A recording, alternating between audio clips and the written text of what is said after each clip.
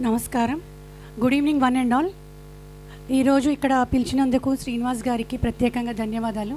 అలాగే కార్పొరేటర్స్ జగదీష్ గారికి శ్రీకాంత్ గారికి వేదికల నుంచిన పెద్దలు రామస్వామి గారికి కోటయ్య గారికి అండ్ అశోక్ గారికి అందరికీ ధన్యవాదాలు.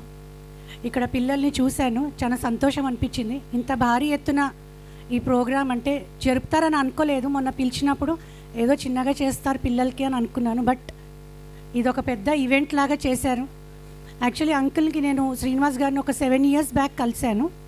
కలిసినప్పుడు మైత్రి నగర్ మాతృశ్రీ నగర్లో సారీ మాతృశ్రీ నగర్లో నేను చూసినప్పుడు వాటర్ ట్యాంక్ కింద పెట్టి పిల్లల్ని చ- చదివించడము ఒక పర్మనెంట్ ఒక రెజ్ అంటే వీళ్ళకి ఒక పర్మనెంట్ యూనిట్ లాగా ఉంటే బాగుంటుంది. దీని పట్ల మన శ్రీకాంత్ గారు గాంధీ గారికి చెప్తారని మరొకసారి తెలియజేసుకుంటున్నాను. వీళ్ళకి పిల్లల్ని ఇలా చదివించడమే చదివించడం మట్టుకే అనుకున్నాను ఇప్పటిదాకా నేను.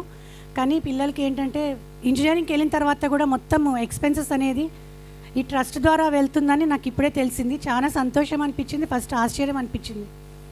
ఇక్కడ పిల్లలు కూడా పాత ఎవరైతే చదువుకొని వెళ్ళి సెటిల్ అయిన పిల్లలు కూడా ఇంకా రూట్స్ని మర్చిపోకుండా వాళ్ళ రూట్స్ని పట్టుకొని ఇంకా వాళ్ళు వచ్చి చెప్పడము పిల్లలకి అండ్ వాళ్ళు కూడా కొద్దిగా మానిటరీగా హెల్ప్ చేస్తున్నారని చెప్పారు.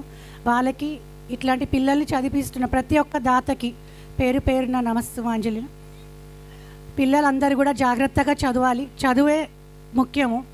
రేపటి భారత్ భావి భారత పౌరులుగా మీరు తీర్చిదిద్దాలంటే ఫస్ట్ మీరు చదువు నుంచే వస్తుంది. చదువు వస్తే సంస్కారం ఆటోమేటిక్గా వస్తుంది.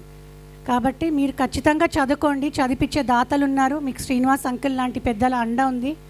తప్పకుండా చదివి రేపు పెద్దవాళ్ళయి మీరు కూడా మరి ఇంకా కొంతమంది పిల్లల్ని ఇట్లాగే చదివించాలని చెప్పి కోరుకుంటూ ధన్యవాదాలు. Thank you